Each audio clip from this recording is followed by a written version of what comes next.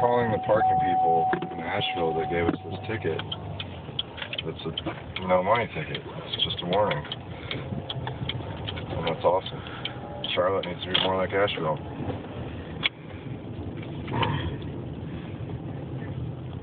Yeah, I'm just calling to thank you guys for the warning ticket that you gave me because normally uh, when I park in the wrong place I have to pay a lot of money, so it's nice to just get a warning. Thank you. Have a wonderful day. What'd she say? She's like, oh, really? Oh my god, thank you so much. Hopefully she'll have a better day.